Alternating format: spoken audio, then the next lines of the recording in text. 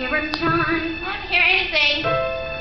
Can't my heart beats, he perfect time, and oh, because he touched me, he looked at me and stared. Yes, he bumped me. My heart was unprepared